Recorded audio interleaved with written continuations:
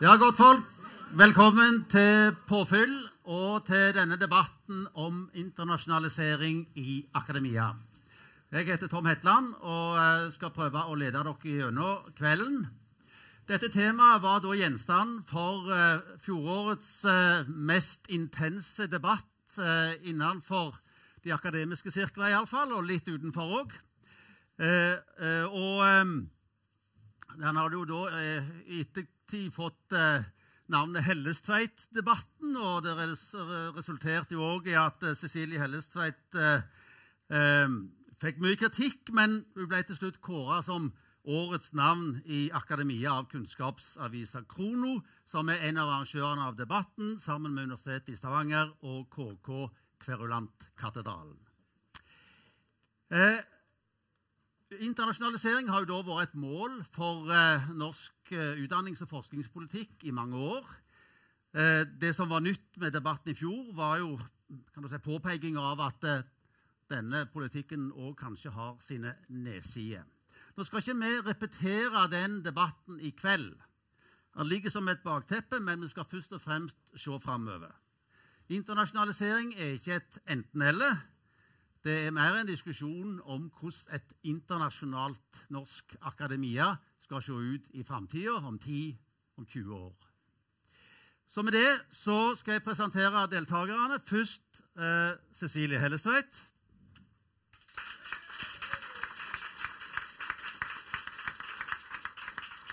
Så Rune Todnen By, professor på UiS. Ulrich Detweiler, òg professor på UiS.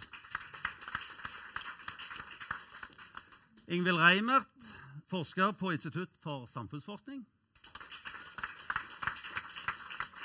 Og til slutt rektor på Universitetet i Stavanger, Klaus Moen. Cecilie Hellesveit, jeg har naturligvis googla deg, sånn som vi skal gjøre før en sånn debatt. Du er da forsker ved Folkerettsinstituttet for tida. Du er kjent av de fleste som Midtøsten-ekspert. Det er der du oftest er i, i media. Du tok eh, juridisk doktorgrad på internasjonal humanitærrett. Du har hatt studie- og gjesteforskeropphold i, i flere land. Du snakker seks språk utenom norsk og har hatt en rekke internasjonale verv og oppdrag. Til og med er du styremedlem i verdensmusikkfestivalen Oslo World. Altså prototypen på en kosmopolitisk akademiker. Hvorfor slo du av alle alarm om risikoen for en for sterk internasjonalisering av norsk akademia? Det er fordi Norge er et lite land. Norge er en liten språkkultur. Og vi er et land som har en litt uvanlig måte å gjøre en del ting på. Vi forvalter landet vårt på andre måter enn det mange store land som vi gjerne sammenligner oss med, gjør. Og Derfor så trenger vi Norsk Akademia også som en kunnskapsbank for vårt eget samfunn. Eh, foranledningen for dette var jo et lite sitat som del av en, et større intervju som handlet om eh, intellektuelle og forskeres rolle i offentligheten. Og Der hadde jeg ti forklaringer på hvorfor forskere i for liten grad etter mitt skjønn, deltar.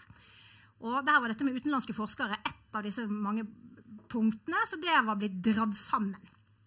Jeg hadde sett over dette, sitatet var korrekt, men det var ikke plass til å si alt det jeg sa, fordi det handlet om formidling, egentlig. Eh, og det er klart, det var spissformulert.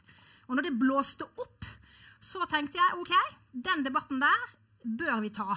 Det er på tide at vi tar den. Flere har forsøkt å ta den før. Det har ikke fungert.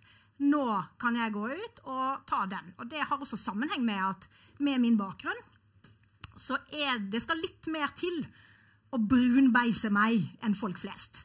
Så det gjør at jeg var godt plassert for å ta den debatten. Det mm. hører også med til historien at jeg står med én fot i to forskjellige fag, samfunnsfag, altså både eh, statsvitenskap, kvalitativ statsvitenskap, og juss.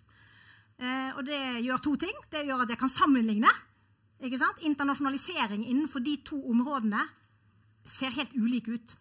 og behovet for Norge er helt ulikt. Og det gjorde på en måte, Den bakgrunnen der gjorde at jeg valgte å skal vi si, fronte den debatten. Eh, for å også se på enkelte nedsider og ting vi skal være veldig oppmerksom på som følge av internasjonalisering. Og så ble det jo en debatt som var veldig polarisert. Sterke eh, ytringer på begge sider. Nå i etterkant, eh, hvilke refleksjoner gjør du deg om den debatten og måten eh, den kom ut på? Nei, det er klart, Noen av de motreaksjonene mot meg var nok basert på en måte å lese det ene sitatet på som var tatt ut av kontekst. Men det er det som skjer i våre dagers debatter. Så det må man på en måte også tåle. Så du var ikke overrasket over at reaksjonene ble så sterke? Ikke egentlig. Eh, det skal også sies at jeg er ikke på Twitter. Er, jeg har bodd i mange norske bygder. Jeg vet at den syklubben oppe i lia Man trenger ikke banke på døra der for å høre alle de ordene som, som sies om deg. Det handler også om å unngå noen av de kanalene hvor du vet at det brukes sterkest eh, lut. da. Så, eh, men jeg hadde tilgang på mange andre kanaler, og de brukte jeg jo flittig. Og jeg synes jo at vi klarte å holde en ganske saklig tone eh, de, på de flatene hvor jeg deltok.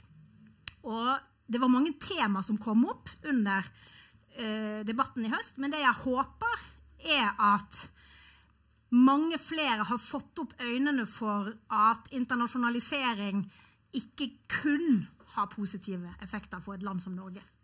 Dette er en problemstilling som vi deler med små land i Europa som Sveits, Nederland og en del andre land som både er små og også har en egen språkkultur og egen forvaltningskultur. Så det er helt parallelle problemstillinger. Og i disse landene er det også en ganske stor debatt om man skal ta kontroll over internasjonaliseringen med noen egne virkemidler. Eh, fordi den er veldig sterk. Den er veldig sterk nå, den tiltar. Eh, og jeg er tilhenger av å rope varsko i tide, sånn at man kan på en måte få snudd skuta litt og justert kursen før det er for seint. Mm. Og Da er vi over på eh, det som er hovedtemaet på, på, debatten, altså vi skal se framover. Og hva mener du bør komme ut av denne debatten? Hvor, hvor, uh, hvor ser du for deg, hvor ønsker du at vi nå skal gå? konkret? Eh, jeg er jo litt bekymret for at politiske myndigheter skal ta tak og si at dette må vi nå begynne å detaljstyre. For det tror jeg ikke er veien å gå.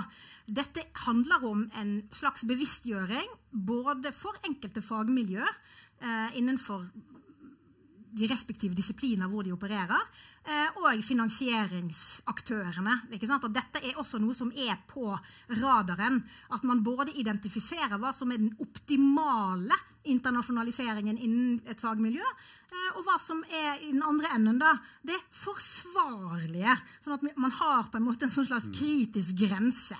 Sant? Og det kan variere fra fagmiljø til fagmiljø? Dette her er veldig individuelt fra samfunnsfag til naturvitenskap til teknologivitenskapene.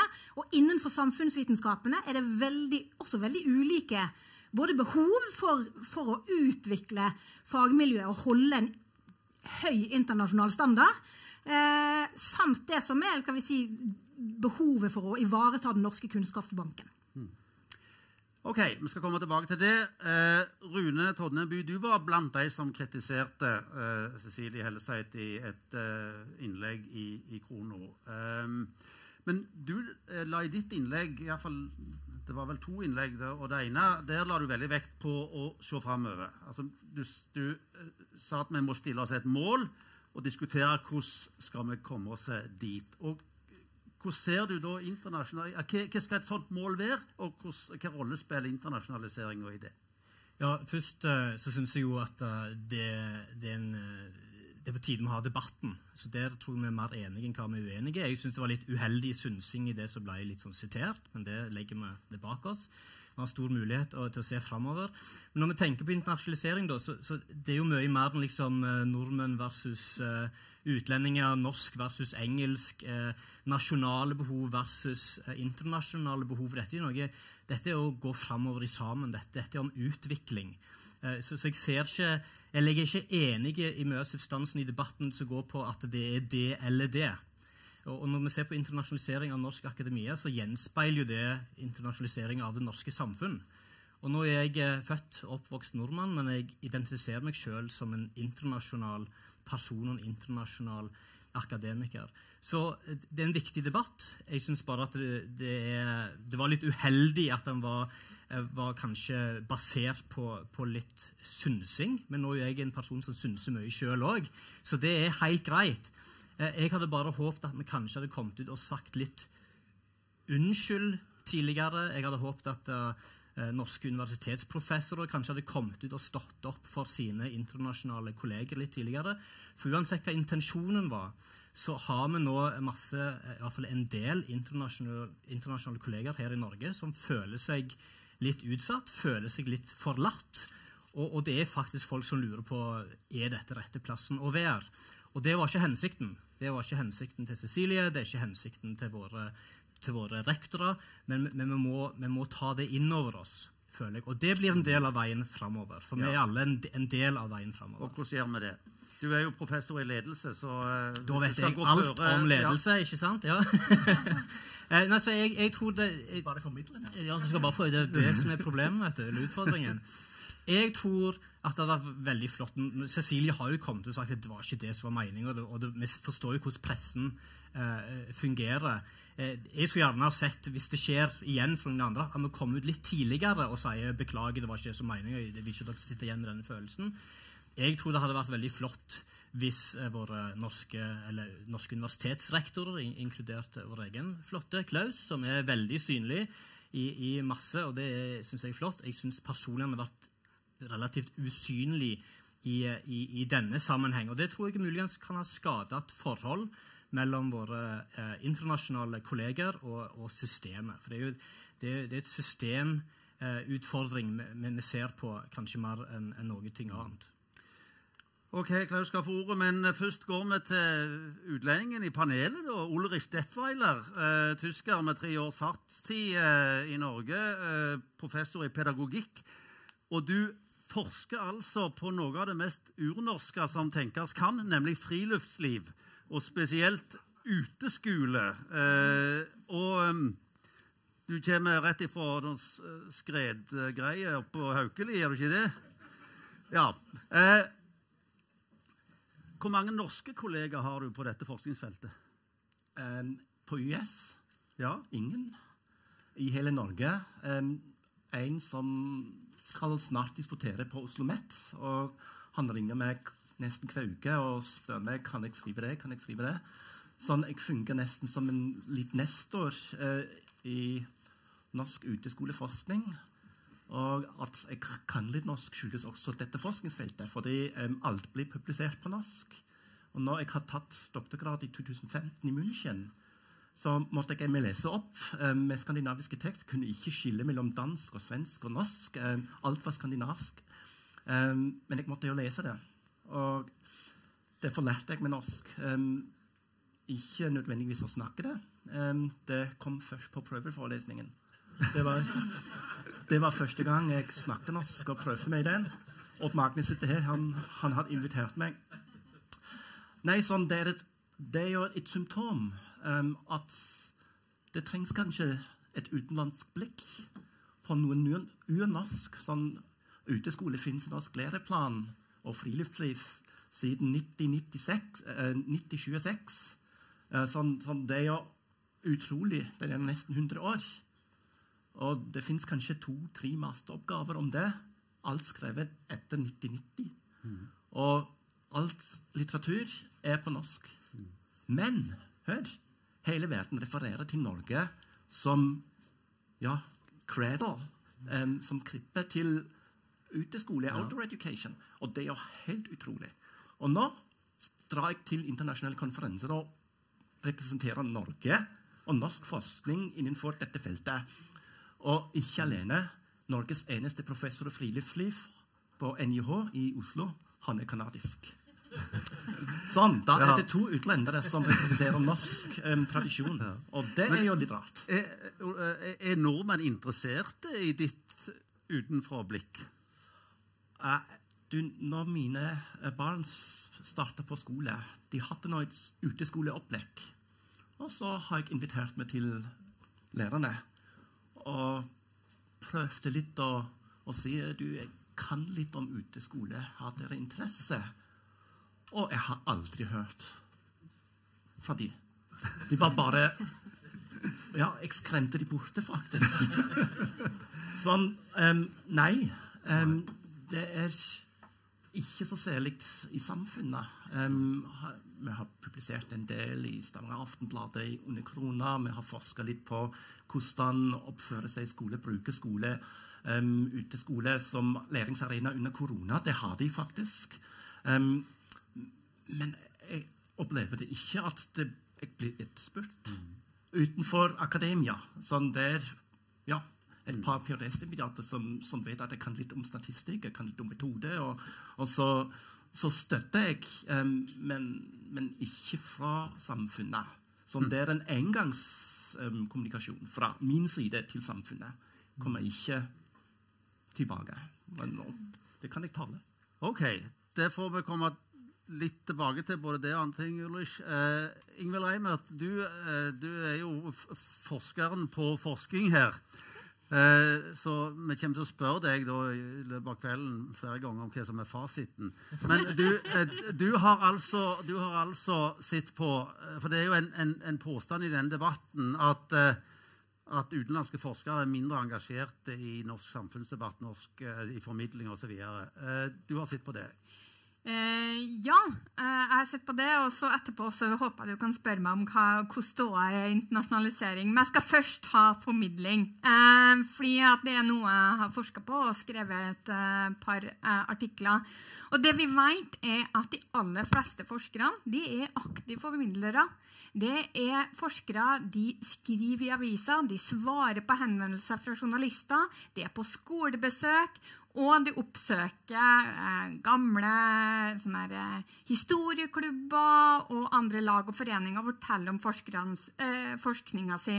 Så det er ikke riktig at eh, forskere sitter i et elfenbenstårn og bare sitter, og, eh, sitter med forskninga si. Vi er aktivt i samfunnet, og det viser tallene våre. Eh, og så vet vi at det er store fagforskjeller.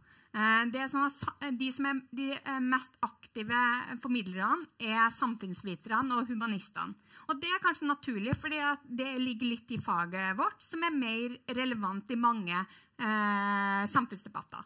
Mens eh, naturviterne eh, og teknologene har mer eh, tilknytta næringslivet og driver med teknologiutvikling, patent og innovasjon. Alt det vi trenger. Og så vet vi én ting til. Eh, at eh, det er ikke noe motsetning med å være en, eh, en, som skriver mange artikler for internasjonale tidsskrift, og det å være en aktiv formidler. Faktisk motsatt. Det er gjerne sånn at de som har de fleste publiseringspoengene, er ofte de som er eh, mer aktive formidlere. Og det er jo egentlig ikke så rart hvis vi tenker om det. For hvis du har mye erfaring og er en ekspert på ditt felt, så blir det ofte gjerne du som blir da kontakta av media. Eh, eller du som da uttaler deg på vegne av fagmiljøet. Eh, og er da en naturlig fagperson å spørre. Og så er jo spørsmålet da, hvordan er det, er, vet vi noe om internasjonale og norske forskere? Eh, og vi har en undersøkelse, NIFU fra 2013, der vi også hadde eh, statsborgerskap på respondentene våre. Så det sendte alle forskere i hele Norge. Og når debatten kom opp, så ville jeg jo gjerne sjekke da, er det noen forskjell på de gruppa. Eh, og da ser vi at det er en liten forskjell med at de norske er litt mer aktive enn de internasjonale. Men når vi kontrollerer for fag, for som jeg sa, det var jo samfunnsviterne som gjerne er de mest aktive formidlerne. altså Det er flere internasjonale forskere blant eh, naturviterne. Så er forskjellen veldig, veldig liten.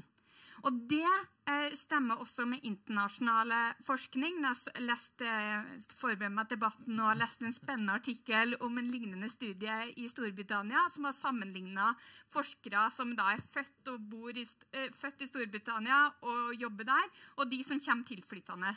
Og de ser akkurat det samme skjer, at uh, de uh, aller fleste, uh, fleste, forskerne som jobber i Storbritannia, de formidler først og fremst til eh, i, i media i Storbritannia.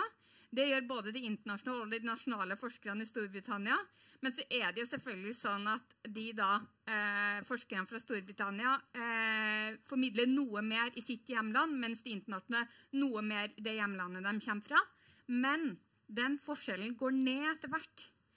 Så jeg vil liksom avfeie litt den der debatten at eh, internasjonale forskere er veldig aktive i den norske debatten. De er til stede, de er med og tar en del. Og det blir kanskje det Mm. mer over tid. Bare, bare et, et, et, et spørsmål til deg. Eh, Dette var tall for 2013. Og Mm. hvor, hvor, hvor mye har andelen internasjonale forskere i Norge steget siden den tid? Ja, takk for at du spurte meg om det Ja. spørsmålet. Svar, svar, svar kort, svar kort på det. Ja. I debatten Ja. så får vi liksom at nå flommer vi over at det, hele norske akademia blir internasjonalt. Og sånn er det jo. Det har blitt mer internasjonal. Eh, indikatorrapporten fra NIFU viser at i eh, 2007 så var det 18 av eh, de eh, ansatte i UH-sektoren som hadde innvandrerbakgrunn, eller etterkommere av innvandrere. Den siste er litt liten.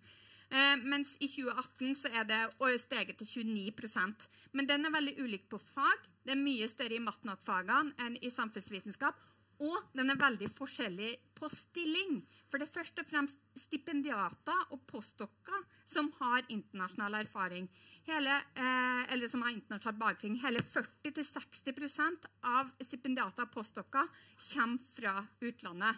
Mens ned på professornivå så er det bare 20% Så det er liksom viktig at vi har det i bakteppet. da. Eh, Og hva er det tallene? Det er store fagforskjeller, og det er store forskjell på stillingsnivå. Men tror, tror du det hovedbildet du tegnte, at det der ikke er noen forskjell på, på, på norske og utenlandske forskere når det gjelder eh, samfunnsengasjement, tror du det står seg òg når, når tallet på, på internasjonale forskere stiger?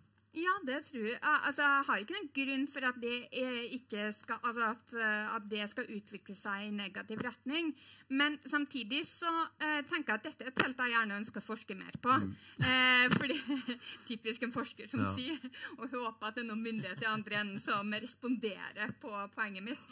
Eh, men eh, poenget er at vi vil gjerne vite litt mer om hvorvidt de, eh, formidler i Norge eller i utlandet. Eh, trolig så kan det være en overvekt og vet fra andre studier at man kanskje forsker mer i utlandet. Nei, formidler mer til det landet man kommer fra. Men det tenker jeg jo også er i så fall en fordel. da, At eh, forskning som skjer på, i Norge, kanskje med norske materialer, også da blir formidla i en utenlandsk eh, kontekst. Og det i seg selv er veldig bra. Men så vil jeg også bare si at det med fagforskjeller er så viktig, for det betyr at alle kan ha litt rett i debatten her. At når man snakker fra eget fag, så eh, er det selvfølgelig noen fagmiljø som er veldig internasjonalisert, og det står overfor noen andre utfordringer enn andre miljø. Eh, og Det er et sånt poeng jeg tar i alt jeg forsker på, at det er store fagforskjeller. Og det er viktig å tenke ut ifra at den hverdagen vi lever i som forskere, eh, og det fagmiljøet vi lever er ikke, det er ikke sånn i alle fagmiljø, og det er ikke sånn alle steder i Norge. Klaus Moen, eh, det var nettopp et møte om internasjonalisering på eh, Universitetet i Stavanger. Eh, og du holdt et foredrag der. Eh, og der en av dine påstander var at internasjonalisering er ikke et mål, men et middel. Hva mener du med det? Med det mener jeg at målet for vårt universitet er å bli bedre på det vi holder på med, å heve kvaliteten i utdanningen, heve kvaliteten rundt forskningen, heve kvaliteten på det vi jobber på av innovasjon og samfunnskontakt. Hvis internasjonalisering kan bidra til å heve kvaliteten innenfor disse feltene, så er det vel og bra. Men uh, i enkelte tilfeller så kan en muligens se at en støter mot en grense, at det oppstår utfordringer, som Cecilie Helstvedt har vært uh, inne på. Og hvis en ser at internasjonalisering faktisk er kontraproduktivt, som en òg kan eh, oppleve, så skal en eh, kanskje være litt på vakt. Men alt i alt så vil jeg si at eh, for vårt universitet og for akademia som sådan, så tror jeg at internasjonaliseringen definitivt har vært av det gode. Jeg har veldig mye godt å si om det. Og jeg tror at alle internasjonalt ansatte som jobber for Universitetet i Stavanger, har bidratt til å løfte oss eh, ganske vesentlig gjennom de 20, 15 årene, 15-16 årene vi nå har vært eh, universitet. Vi speiler for øvrig utviklingen nasjonalt. Eh, andelen internasjonalt ansatte blant oss har steget fra 18 til eh, 18 til 27% i løpet av de siste fem årene bare. Og hvis du ser på dette i absolutte tall, så har antallet internasjonale ansatte eh, steget fra i underkant av eh, 300 til nærmere 600 i år. Så vi har en dobling i antall internasjonalt ansatte. Så Sånn sett så speiler vi en utvikling, men det har gått veldig raskt hos oss. Og vi har ikke vært helt klar, og vi har ikke klart å ta inn over oss egentlig hva dette innebærer. Verken når det gjelder driften av virksomheten vår, eller hvordan vi skal ivareta denne rekrutteringen og sørge for at de får en god integrering i eh, arbeidsmiljøet og i samfunnet for øvrig. Det må vi ta tak i. og Det snakket jeg om på, på, på mandag. At vi må noe, gjøre noen justeringer der og ta dette inn over oss hva det, hva det egentlig innebærer. Og tenke over hva veien videre skal bety når det gjelder internasjonalisering. Hvis, Ellers, du, ja, jeg, ja, hvis, du, hvis du skulle tippe eh, Du sa det har økt fra 18 til 27% på fem år. Hvis du skal se ti år eh, fram i tid, hva er det sannsynlig at prosenten vil ligge på? det? Nei, Det er veldig vanskelig å si. for Som har vært, folk har vært inne på allerede her, så varierer dette veldig fra fagmiljø til fagmiljø. Og Et springende punkt er om disse internasjonale ansatte lærer seg norsk. Og Hvis de lærer seg norsk, så er det jo ikke noen problem. For det er språkbarrieren og språkbehovene våre som er danner en stor del av hovedproblemstillingen her. Både når det gjelder utdanning, og når det gjelder kontakt med virkeligheten, og relevansen i forskning og formidlingstema osv. Det, det er språk dette handler om. Det handler ikke om hvor folk kommer fra. Det handler om hva de representerer, og hva de tilfører organisasjonen vår. Vi er i oljebyen, og eh, da vi fant olja, så var det stort sett amerikanere som lærte oss hvordan vi skulle gjøre dette. Så hadde vi en strategi for at eh, kunnskapen om, om oljeutvinning skulle eh, nasjonaliseres. altså Vi skulle lære opp nordmenn til å kunne gjøre dette. Eh, Cecilie, bør Norge ha en strategi for å styre internasjonaliseringa sterkere i forhold til våre behov? Og er det enkelte fag som i så fall er mer samfunnskritiske enn andre? Absolutt. Eh, kan jeg få lov å svare på det mens jeg liksom kommenterer det som ble sagt her? Fordi vil, Takk for at vi har eh, faktagrunnlaget her. eh, men det er klart, de statistikkene der er til en viss grad ikke så gunstige for mitt formål, fordi min kritikk handler for det første om noe som er ganske fagspesifikt for bl.a. HF og eh, folkerett og juridiske fag. Eh, det er det ene. Sant? Og der er det nå enkelte steder en sånn kritisk mengde noen steder som gjør at det er mye bra forskning bevares. Og dette her handler jo ikke om å kritisere enkeltforskere eller som sådan, men den er ikke så veldig relevant for Norge og for norske forhold. Og den foregår på andre språk. Publiseringen skjer ute. Og det foregår lite fagformidling på disse fagområdene. Og det vi ser da, er at det skjer en utarming av det norske system. Fordi akademia i et lite land har en annen funksjon enn akademia i Tyskland, Storbritannia, USA. Der er det mange institusjoner som forvalter språk, forvalter en fag, terminologi innenfor et fag, og forvalter den kunnskapsbasen. I Norge så er akademia veldig spesiell. Det er vi som utdanner statsmaktene våre, og det er vi som både på en måte forsker på det, og som fungerer overfor det. Og det vi ser på noen av disse områdene, er at vi begynner å få mindre og mindre kompetanse. Og det gjør at statsmaktene våre gjør mye mer feil. For de har ikke folk som kan norsk, og som interagerer med dem. Eh, så det er det som er det ene Hvor, problemet hvor, her. hvor, trykk, hvor er det skoen trykker mest akkurat nå?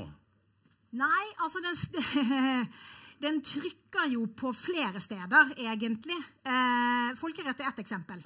Og det er ingen som har ansvaret for det sånn. Du kan ikke peke på noen som sånn singulært har ansvaret, men det har noe med internasjonaliseringen å gjøre, som gjør at vi har fått et mye svakere miljø for folkerett. Vi har mange skandaler. Vi har Nav-skandalen. Etter hvert har vi en del andre skandaler som handler om at norske fagmiljøer må klare å forvalte en kunnskap om det norske samfunnet, om den norske jussen, og om folkeretten. Om det europeiske rettssystemet, om det globale rettssystemet. For at vi skal liksom være i takt med det. Sant? Og når du, når du på en måte eh, orienterer akademia inn mot en internasjonal, global kunnskapsbank, så går det på bekostning av den lokale.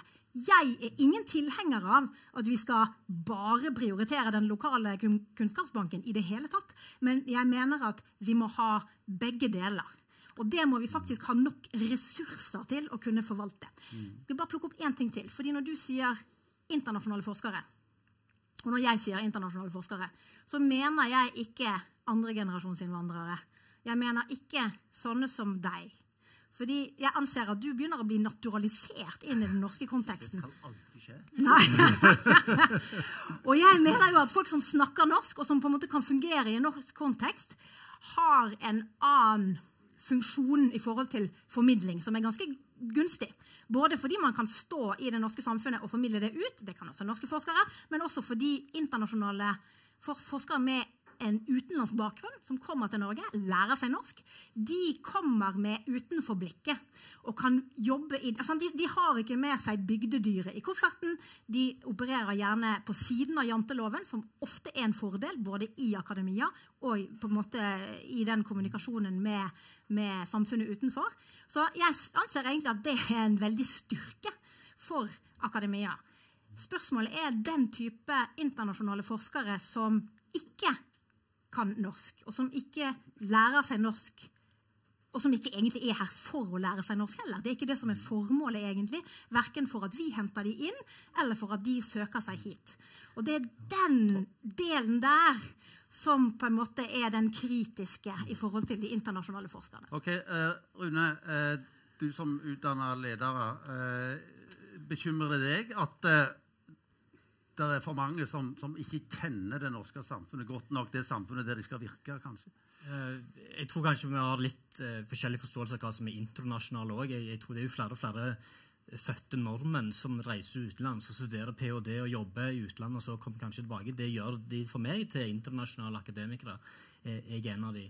Um, våre internasjonale, altså De som kommer fra et annet land, de opererer jo i et, norsk arbeidsmarked. Så det er ikke sånn at uh, utlendingene er problemet. Problemet er jo norsk. Vi har ikke nok nordmenn som enten er villige til å søke seg inn på de akademiske mulighetene, eller som står seg i, ut, i, i løpet, i konkurransen.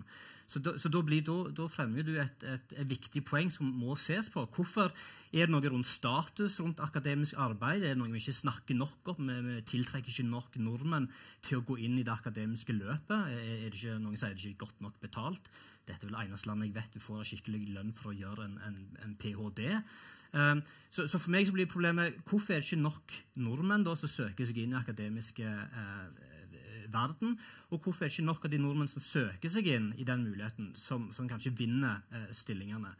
Eh, våre utenlandske kolleger de søker på norske jobber, norske universiteter, eh, til en stillingsbeskrivelse som er bestemt av et norsk system. Ja, la, la, mitt, ja, ja, la, la, oss høre med Klaus Moen om det. Altså, jeg, jeg, har jo vært på årsfestene jevnt og trutt de siste åra, der eh, de nye doktorandene blir presenterte. Og på eh, samfunnsfag, humaniora, helse, så er det stort sett norske kvinner. På teknisk, naturvitenskapelige fag, økonomi, så er det stort sett utenlandske menn. Eh, nå, nå, er disse kvinnene eh, naturligvis utmerka eh, forskere, men det er hele fagområdet her der det knapt nok er en eneste norsk eh, doktorand. Bekymrer det deg? Det speiler jo en del av de kulturene som gjør seg gjeldende mellom disse fagene. Jeg vet ikke om jeg skal være så urolig over dette, men vi ser at internasjonaliser ikke internasjonaliseringen, men at internasjonal rekruttering griper om seg på stadig flere fagfelt. Og det er rett at hos oss har teknisk-naturvitenskapelig eh, fakultet vært det som har lengst historie på området. Men nå ser vi at, eh, at eh, SV-fakultetet, vårt fakultet for utdanning og humaniora, og ikke minst òg Handelshøyskolen ved UiS, eh, begynner å plukke opp slakk. Og det er ganske store ting som skjer også der òg når det gjelder internasjonal rekruttering. Jo, jo, jo, jo, jo, men, jo, men poeng, jeg, har lyst til, jeg, har lyst til å gjøre et poeng. Jeg, jeg, jeg, har lyst til å minne om at det er noe med demografien i organisasjonen her som ser veldig forskjellig ut. For den, den, den, den internasjonale rekrutteringen den skjer i all hovedsak på lavere nivå. Så det er blant stipendiater og i rekrutteringsstillinger og postdok at vi finner den store overvekten av internasjonal rekruttering. Og Desto høyere man kommer i organisasjonen, desto mindre blir andelen. Og Ser man på ledelsesnivå i norsk, på norske universiteter og høyskoler, så er det nærmest blotta for uh, utenlandske ansatte. med mm. enkelte på unntak. Dette, tror jeg kommer til å endre seg. Når vi får historikk med internasjonaliseringen og går 10-20 år til, så tror jeg at en del av disse menneskene kommer til å flytte opp i hierarkiet, og at det kommer til å bli jevne seg litt mer ut. Men per i dag så ser en denne enorme skjevheten i Ja, eh, det- Og det er ikke de mest ressurssterke dermed i organisasjonen som er eh, internasjonalt eh, rekrutterte. Det er de som er lavest på og det er òg et tankekors som vi kanskje bør kikke på. Men, men, men det spørsmålet som både Ulrich og, og, og, og- og Rune reiste altså Hvorfor er det ikke flere eh, nordmenn, og med trykk på menn her, som vil bli forskere? Nei, eh, si det. Det er vel kanskje ikke For det første er det ikke prestisjefullt nok, og det kan jo ha noe med lønnsvilkår òg å gjøre, eh, når du sammenligner akademia med resten av økonomien i Norge. Og, men, men, så, men når vi òg er åpna for den internasjonale konkurransen, så er den beinhard. Så det er ikke bare bare for en norsk masterstudent å få seg en stipendiatstilling i den konkurransen som gjør seg gjeldende når vi lyser ut stillingene internasjonalt. Og Det er for så vidt bra i en forstand, for da får vi veldig gode kandidater inne på doktorgradsstudiene. Men resultatet i andre enden er at vi får den fordelingen som du peker på. Ingvild, du, eh, forskeren her må hjelpe oss. Har du, har du noe svar på hvorfor det er så svak, iallfall i noen fag, så svak eh, forskerrekruttering fra Norge? Eh, ja, altså det har man jo sett over en stund, men eh, Og en del, eh, del studier viser jo på at eh, status eh, til akademikeryrket eh, er Før var det veldig stort, og veldig, man fikk veldig mye prestisje. Veldig få som gjør det. Altså, det er litt, på, litt nedadgående. Både på lønnsvilkår og prestisje.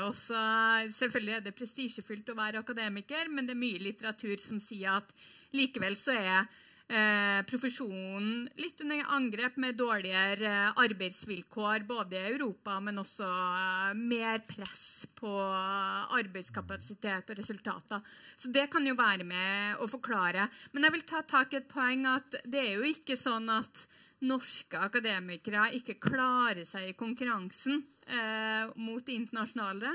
Eh, vi ser at eh, norske akademikere gjør det ganske bra når man søker som gruppe.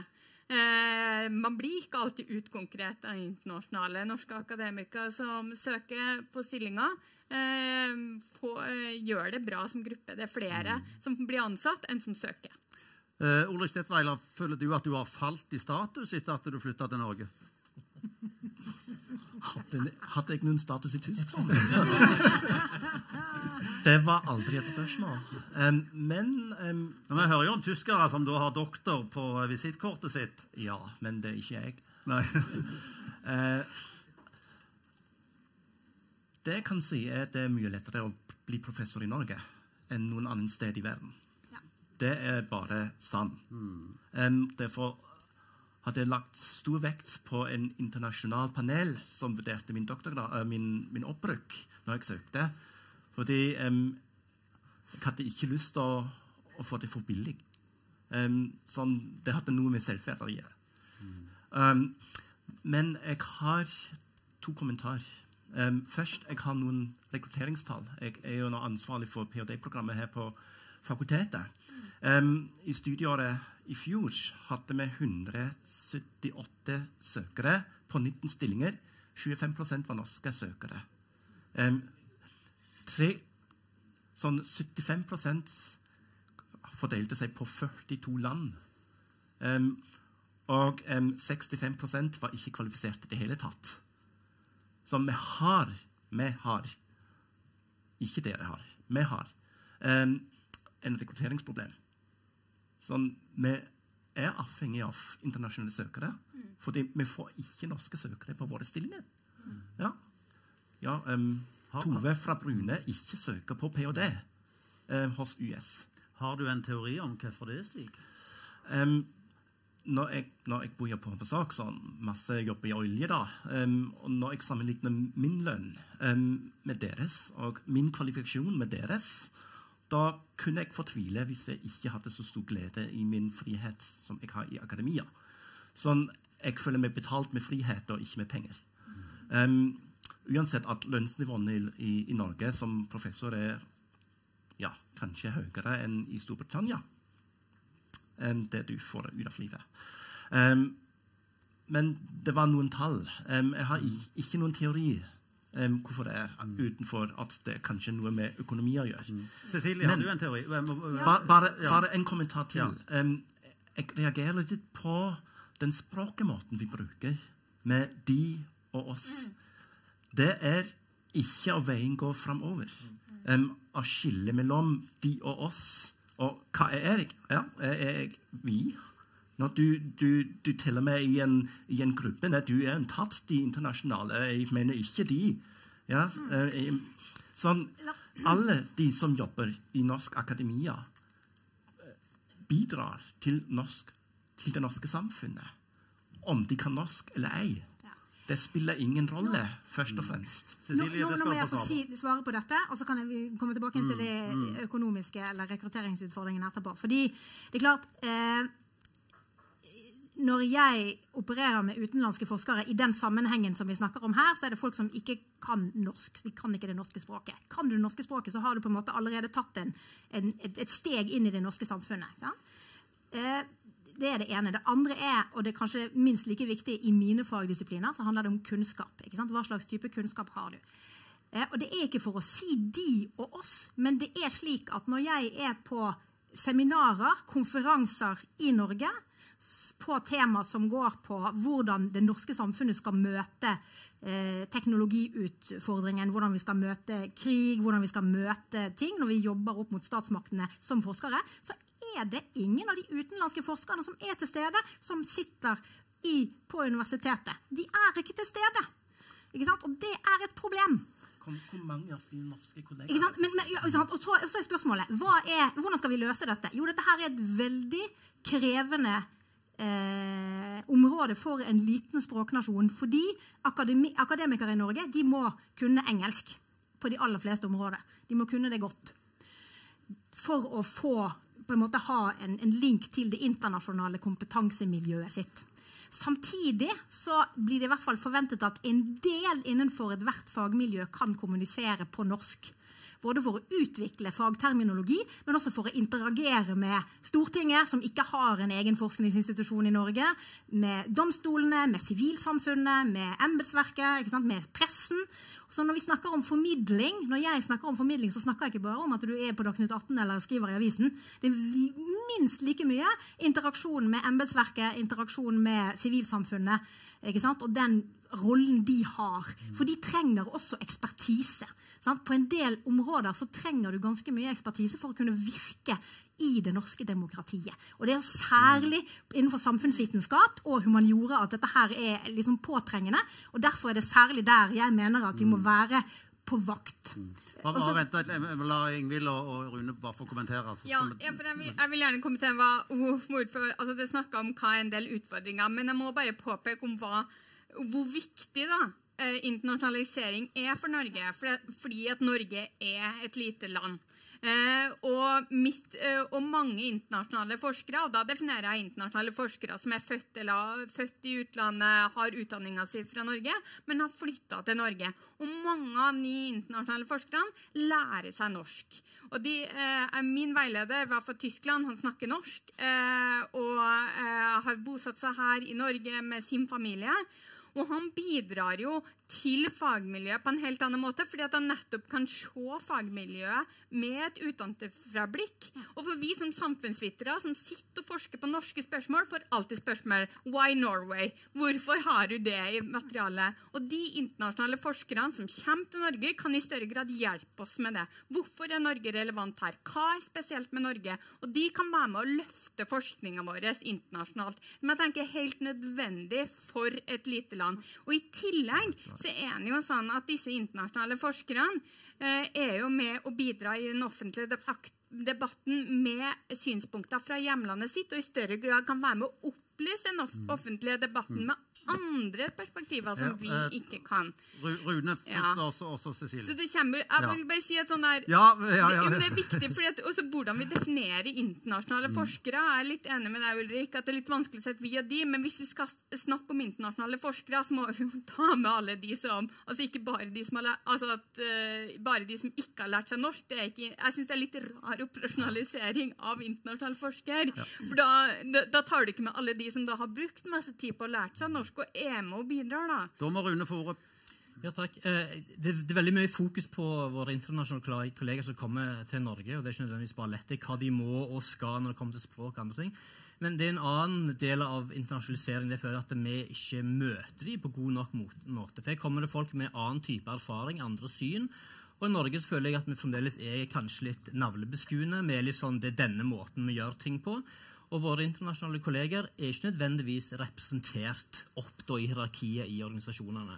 Så det er noe, jeg, jeg, lurer litt på hvorfor er vi ikke flinkere til å trekke opp den kunnskap og erfaring som våre internasjonale kolleger bringer med seg. Og jeg kjenner hver dag på et, en entusiasme blant kolleger. De har lyst å bidra mer. De har lyst til å bidra utenfor sitt område og sitt kontor, men de dørene er, er ofte lukt. Så det er sånn, eh, vi må passe på at uh, Norsk Akademi ikke blir sånn Eh, en ny som fremmedarbeiderindustri, er de som gjør jobben, kommer kanskje fra utlandet, men de som tar avgjørelsene, er fremdeles norske hvite menn. Ja, Er det er det, det som, eh, som, som, kan skje, Cecilie? På, ja, dette er ikke min bekymring.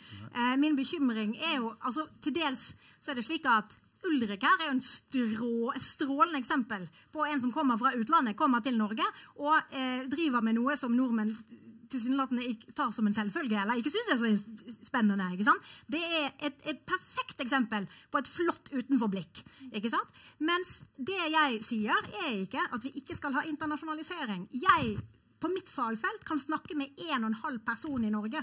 Åpenbart ønsker jeg å få mange flere utenifra som kan noe av det samme, eller jeg må reise ut. Spørsmålet er hva er den ideelle eh, mengden av folk som kommer utenifra, versus de som kommer og er vokst opp i Norge eller utdannet i Norge, eller kjenner det norske samfunnet. For, og det er også den definisjonen jeg bruker. Det handler ikke om hvor du er født, eller hva slags hudfarge du har, eller hva slags religion eller kjønn du har. Det handler om hva slags kunnskap, altså kompetanse, hva slags språk du snakker, og hvordan du forholder deg til Norge som samfunn. Er det et sted hvor du har et forskningshotell? Eller er det et sted hvor du engasjerer deg? Og I det øyeblikket du engasjerer deg i det norske samfunnet, så tenker jeg at da er det greit. Da er det egentlig ikke relevant hvor du kommer fra, så lenge du tar den rollen. Cecilie, bare, bare, bare, bare, spørsmål, bare spørsmål til deg. Altså, hvis, hvis, vi nå går ut ifra at du har rett i at det er noen sånne kritiske områder mm. der det gjelder å ha, ha iallfall norskspråklig kompetanse, eh, og at der er det rekrutteringssvikt eh, hvordan tenker du konkret å, å, å gjøre for å få løfta eh, kompetansen, den norskspråklige kompetansen da, på disse områdene? Nei, altså jeg tenker at vi må bort fra deler av tankegangen vi har i akademia. Jeg vil bare løfte blikket litt, for vi skal tenke fremover. Mm. Vi er nå i en periode av eh, samfunnsutviklingen hvor de neste ti årene regner man med at teknologiutviklingen kommer til å gå raskere enn de siste hundre. Samfunnet våre, Dette sa også MI6-sjefen i sin tale i november. Neste, samfunnet vårt står overfor endringer som er antageligvis større enn den industrielle revolusjonen. Og Da trenger vi et kompetent akademisk miljø som både kan snakke med verden og som kan snakke med det norske samfunnet. Vi er et av de mest teknologisk skal vi si, velutviklede samfunn i verden. Vi kommer til å gå fremst i denne utviklingen her. Og vi trenger et mye sterkere forskningsmiljø på mange områder for å se hvordan vi som samfunn skal møte dette. Vi trenger miljøer som er uavhengige av politiske føringer, direkte politiske føringer eller økonomiske føringer, for å se hvordan skal vi klare å ta samfunnet vårt over i den nye virkeligheten, hvor dette kommer til å fortone seg som steinalderen. Det er ikke så langt unna, og akademia har en ekstremt viktig funksjon i den prosessen i Norge, fordi vi er et bitte lite land i verden. Men, men, eh, skal, men, men det må vi på en måte også, ja, hva, hva skal Klaus Moen gjøre, da, eh, hvis han skal bidra til å og, styrke disse miljøene som, som, som, du mener? Jeg tror det særlig handler om hvor mye penger vi bruker på forskning. Finland har nå foreslått 4% av BNP til forskning. Veldig god idé. ikke sant? Eh, vi er et veldig rikt land. Vi kommer til å bli enda rikere av pandemien fordi økonomien i verden går inn i en ny resesjon. Vi ble dobbelt så rike etter eh, finanskrisen i 2008. Oljefondet doblet seg de neste årene. Vi har råd. Og dette her er verdiøkning som ikke foregår i Norge i det hele tatt. Den foregår ikke ute i Nordsjøen. 7000 milliarder av oljefondet, med mer enn halvparten, er verdiskapning som foregår på finansmarkedene ute i verden. Vi blir rike på resten av verden. Det må vi ta inn over oss som en moralsk forpliktelse til å drive mye mer med kunnskapsgenerering. Og jeg mener at det handler om global kunnskapsgenerering. Hent inn toppforskere fra hele verden på enkelte utvalgte tema. Skap internasjonale forskningsmiljøer. De trenger ikke å vite hva Norge heter på norsk engang. Spiller ingen rolle. Men det betyr ikke at vi kan la den delen av det gå på bekostning av en kunnskapsgenerering og kunnskapsbank om det norske samfunnet, og hvordan vi skal tilpasse oss den nye virkeligheten. Eh, ble du eh, klokere av dette, Klaus? så har du eh, Jeg satte en stor. Ja, Trigga økonomen i meg. ja, om å mer, mer, penger? hive penger Ja, på ja, problemet. Ja, ja. Men la meg først eh, starte med Du sa at vi skulle ha som en premiss for debatten at Cecilie hadde rett. Vi trenger ikke ha som det som en premiss. Det er et objektivt eh, faktum at vi har et ansvar som sektor å ivareta det akademiske fagspråket. Der er det en motstand mot eh, ubunden eh, internasjonalisering, i hvert fall i den formen det har funnet sted eh, de siste årene. Og Det må vi tenke over konsekvensen av. Vi har et ansvar for å ivareta en kontakt med eh, det norske samfunnet. Og Jeg er jo hjertens enig i at internasjonaliseringen har vært en velsignelse. At vi, kunnskapen produser, produseres langt på vei fra, eh, for et internasjonalt samfunn og hentes langt på vei fra et internasjonalt samfunn. Så jeg er ikke noen motstander av det. Men det må gå an å ha to tanker i hodet på en gang. Og internasjonalisering involverer viktige avveininger mellom noen hensyn mot noen andre. Og vi har ikke bare forskersamfunnet og det internasjonale samfunnet som interessent. Vi har en haug med andre interessenter. Blant våre ansatte, organisasjoner utenfor oss, myndigheter ja, Cecilie har nevnt en rekke av dem. Og vi må jo sørge for at vi balanserer interessene i våre strategier mellom de eh, ulike interessentene. Og Da eh, er det vanskelig å se for seg at det det skal være et mål her om eh, stadig mer internasjonalisering, og at, eh, at eh, at, eh, at, at norsk akademia skal være fullt ut engelskspråklig. Det er ikke et valg vi har. Vi kan ikke gå dit. Eh, Norsk er vårt administrasjon- og arbeidsspråk. Og det kommer ikke til å endre seg. Det har vi jo klare signaler på. Uh, Rune, du uh, mener kanskje noe annet om jeg, språk? Jeg, jeg, på. Jeg, jeg har ikke hørt noen som sier at et mål i seg selv å internasjonaliseres. Det, jeg har ikke sett den stemmen i den debatten at vi skal internasjonaliseres 100% eller 50 eller. Jeg ser på internasjonaliseringen. Det, det, er jo, det er strategisk, det er politisk. Det er en del av oss å følge med i utviklingen. Norge, utviklingen i Norge skjer ikke i isolasjon. Det er ikke oss mot resten av verden. Uh, men uh, så må vi tenke på, Du spurte hva praktisk vi kan gjøre. Mm. et, et par ting. Eh, hvis du skal ha akademisk karriere eh, i Norge, som i nesten resten av verden, så skal du publisere. Du skal publisere i visse journaler, og det er i hvert fall ikke på norsk eller nynorsk. Det publiseres i der, for å si det sånn. Det publiseres på engelsk. Og dette er et press, et krav, som er i systemet. Så hvis vi vil ha mer skrevet på norsk, så må vi ha et annet system. I hvert fall utligne dette systemet. Eh, og, og igjen, jeg, kommer tilbake til at og andre også på panelet har sagt det, vi må gå litt vekk fra denne her oss og de. Det er mye oss og de og de som kan det språk eller det språket. Eh, men eh, igjen, eh, Klaus nevnte noe på, på den interne debatten på, på mandag. At alt vi gjør, skal jo gå mot å bygge et bedre universitet. Jeg vil gå litt lengre. Alt vi gjør, skal gå mot å bygge et bedre samfunn. For UiS har jo en veldig viktig samfunnsrolle. Så det er viktig at alt vi gjør som universitet, og alt vi gjør som ansatte på universitetet, da gagner samfunnet. Men Norge vi er kanskje et lite land med få innbyggere, men vi lever ikke i isolasjon. Er et, et, spørsmål til alle her. Det, det begynner å nærme seg det, det tidspunktet der jeg hadde tenkt å slippe salen til. Uh, men uh, vi lever jo i en tid der, der vi snakker om konspirasjonsteorier, fake news, manglende respekt for forskningsbasert kunnskap i det store og hele. Eh, betyr ikke det at en må legge mer vekt på formidling av den typen kunnskap til folk flest? Og at det ligger en fare hvis det er at insentivsystemet blir utformet slik at det er internasjonal publisering som, som er det absolutt viktigste? Ingvild? Eh, jeg vil eh, tilbake litt til hva vi vet om forskere sin formidling. fordi at vi vet at De aller fleste eh, forskere formidler. Og nå skisserer vi gjerne, ender vi opp og sier at det er noen internasjonale forskere som ikke formidler. Men det er også noen norske forskere som ikke formidler. Og mine tall viser at de to gruppene er ca. like store. Det er ikke noe forskjell på om du er født eller ikke født i Norge, eller om du har utdanninga di eller ikke utdanninga di fra Norge, hvorvidt du formidler. Er, så jeg er ikke så bekymra for internasjonaliseringa når det kommer til formidling. Men jeg syns likevel, liksom Klaus og flere her eh, tar opp, at jo, det er jo en del utfordringer vi må snakke om. Mm. Uh, og f.eks. undervisning på engelsk tenker jeg vi må, vi må uh, diskutere.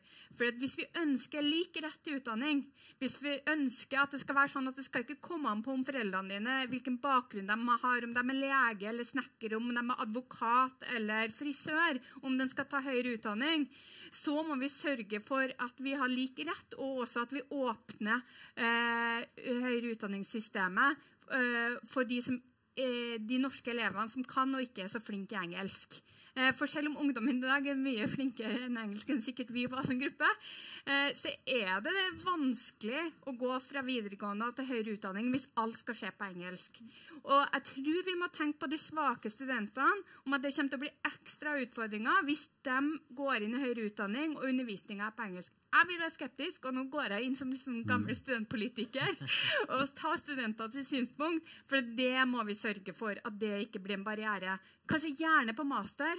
Der kan kanskje ha mer uh, engelsk, men vær forsiktig med å ha engelskundervisning på bachelor. Meg, det tror jeg blir la, la meg bare spørre deg, eh, Ingvild. Er, er, det en fare her for at en kan få en todeling, der du har uh, norskspråklige som da bruker mesteparten av tida si på undervisning, mens du har eh, engelskspråklige forskere som, som får forske i fred. Og det, det, kan jo selvfølgelig være en problemstilling, og det er jo som uh, Klaus og andre universiteter må se på hvordan de skal gjøre. Det er en utfordring med internasjonaliseringa, nettopp fordi at universitet- og høyskolesektoren har flere oppgaver. Eh, så akkurat på undervisningssida så tenker jeg at dette er en utfordring å diskutere. På formidlingssida er jeg ikke så bekymra. Jeg er heller ikke så bekymra at vi ikke skriver eh, vitenskapelige artikler på norsk. For, for å være helt ærlig, ja. For hvis vi skriver en vitenskapelig artikkel på norsk, det er ikke sånn at folk slutter å lese VG-nett og heller setter seg ned og leser den. Altså, Vi når ikke så mange flere med å skrive våre eh, artikler på norsk. Mm. Men jeg tenker at vi heller bør tenke sånn Ja, når vi skriver en artikkel på engelsk, da tenk hvordan skal du selge den inn da, til uh, Tove Krono vil sikkert ha den. og, altså Forskningsnyhetene andre vil ha den, og Aftenposten vil ha den. Men heller tenk at den oversettelsen går ikke bare på språk, men også går på hvordan vi formidler forskningsaktivitet. da. Uh, men på undervisning så er det ut, utfordring. Jeg synes også den utfordringen vil si helt nevnt til slutt, at Hvis vi legger opp til et akademia der vi skal flytte til land til land, så er det å flytte hele familien sin fra land til land noe som er forbeholdt én gruppe mennesker. Det er vanskelig å flytte med familier, og det viser seg også at det er vanskelig for å flytte for kvinner, for de er ofte da gift med menn, og menn er vanskeligere å ha med. Rett og slett. ok, Da skal dere få uh, ordet, dere fire andre, uh, kort, og så skal vi slippe salen til dere skal få kommentere, nå, nå, er det mange ting som svirrer her, så dere skal få kommentere det som dere ba om ordet for å kommentere. Klaus? Ja, først la, la, meg si at Jeg er hjertens enig i alt Ingvild nå har sagt. Jeg kjenner meg godt igjen i det. Så til spørsmålet det som var litt annerledes vinkla. Det var, handla om legitimiteten, legitimiteten for akademia og forskning rent generelt. Jeg tror det er drevet av uh, mekanismer enn du peker på, som er omfanget av formidling. Samtidig så vil jeg understreke at vi må bygge ned distansen eh, mellom eh, oss som universitet og institusjoner og samfunnet for øvrig. Og derfor, Det er jo akkurat derfor at eh, vi med Universitetet i Stavanger er motivert til til denne strategiske ideen om å legge til rette for et åpent universitet. Der vi slår ned vegger internt og slår ned vegger mot omverdenen. Og lar kunnskapen flyte fritt og tar inntrykk fra verden rundt oss. Så Det er for øvrig en av grunnene til at vi sitter her i dag. At vi har lagt til rette eh, for denne debatten for å kaste lys over denne problemstillinger. Det tror vi kan hjelpe. For det er ikke sånn at det er bare de kunnskapsløse holdt på å si, som er skeptiske til forskning, og at hvis de bare ble opplyst og informert og vi formidla til dem, så ville dette hjelpe. Vi ser jo at sterke sterke interessegrupper. Til og med statsråder fornekter forskning hvis det er opportunt for deres eh, bestemte interesser. Så dette handler om interesser, og til dels ressurssterke interesser. Og Det er det som er, kilden, det, det, det, som er kjernen i dette. Og jeg tror ikke uten videre at det mer formidling er, er, er, løsningen. Men vi må virkelig kunne kommunisere med våre interessenter og samfunnet rundt oss. Det tror jeg, Bygge ned barrierene. Det tror jeg kanskje kunne hjelpe. Ulrich. Når du spør, pedagog, når du spør pedagogen, så er det jo også alltid en balansegang mellom krav man stiller, og støtte man gir. Og den støtten man gir, men på engelsk er det 'empowerment' um, Jeg slo opp det norske akademiske ordbord um, for å finne ut hva er 'empowerment' på norsk. Det fins ikke noen entydig variant. Det er faktisk tre varianter. Og det setter noen i stand til å gjøre noe, myndiggjøre noe og livsmestring. Og det er akkurat det de som kommer fra utlandet til Norge, trenger på ulike vis. Sånn For tida har vi ett språkkurs um, som foregår klokken fem til syv om kvelden. Um, det er ikke tilrettelagt de som har familie, som har flyttet til Norge. Um, de må sørge for sine barn når de kommer hjem fra skolen. De har ikke lyst til å sitte på norskkurs i to semestre ja, hver tirsdag og torsdag. Da lærer de ingenting. Ja, sånn, hvorfor ikke ha fire uker massivt norskundervisning for de som trenger det? Ja, Da tenker jeg på de solomenn som kom fra utlandet. Ja, Første fire uker. Og så kan du ha noen kurs på, på arbeidstida. Ja, klokken ni til elleve. Helt perfekt. Um, og ved et semester. Hvorfor ikke? Invester den tida. Ja, som Bruk penger på det. Da får du masse return of invest. Og ikke bare ha ett opplegg. Vi må, må se på de ulike behov. Og det er empowerment. Og så får de den innslag i norsk samfunnet som, som de ønsker. Og da trenger vi ikke snakke om de og oss. Og da er det bare den, den støtten de trenger nå. Sånn, det er nå det jeg har å si som pedagog. Rune? Det tok du mitt poeng. Vi skal bygge videre på det. For det vi hadde en sånn samtale her på, på Haugen på campus, og, og da ble det litt, litt sånn latter i, i, i tårene. at det, sånn, Nordmenn hadde jo aldri godtatt når disse norskkursene kjøres. Altså etter arbeidstid, på kveldstid, hellig tid for familie og alt dette her. Og, og latteren kommer Til og med læreren på norskkurset er jo ikke norsk. Så ingen som skal på det kurset, enten å ta imot eller levere, er norske. Derfor blir det greit at det skjer liksom på kveldstid.